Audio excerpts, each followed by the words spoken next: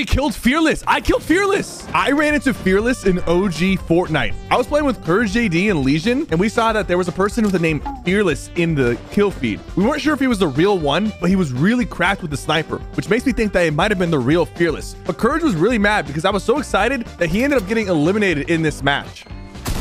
He boogie bombed me. Got him anyways. Wait, we killed Fearless. I killed Fearless. Did you actually? Brother. Fearless is now I'm spectating. Wait, wait, wait. I couldn't focus on what's happening because I heard, heard Sypher going, Fearless, Fearless, Fearless in my ears, bro. Like, holy sh. I say right foot creep, ooh, walking with that heater.